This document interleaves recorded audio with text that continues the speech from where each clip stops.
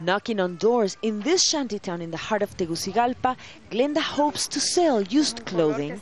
She's already made 10 lempiras today, less than one dollar.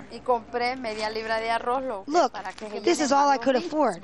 Half a pound of rice and two cubes of chicken stock for our meal today.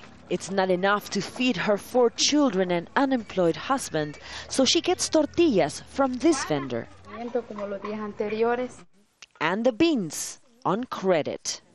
Glenda cooks on a wood burning stove. Her electricity bill for one month is 100 times what she made today. And the constant curfews, which prevent her from working, are making things even more difficult. I've never lived through such a difficult time in my life. It feels like there's no future here.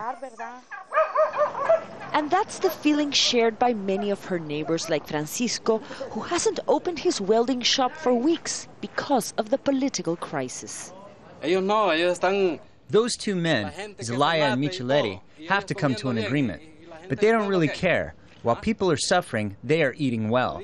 So what's in it for the poor people?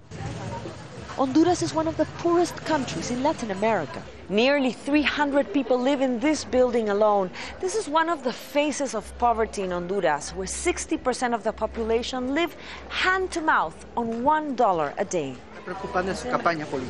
Community leader Giovanni Lopez says that even during Zelaya's government, the economic situation for most Hondurans was bad. So he supported Micheletti ousting Zelaya from power. We thought Micheletti would begin solving our problems, but this has reached a breaking point.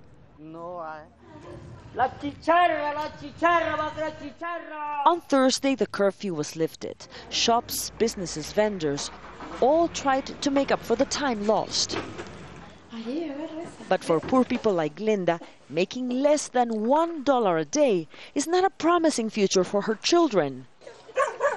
She hopes they won't be forced to leave their shoes hanging, like so many others who left them as a sign before heading to the United States to find a better life.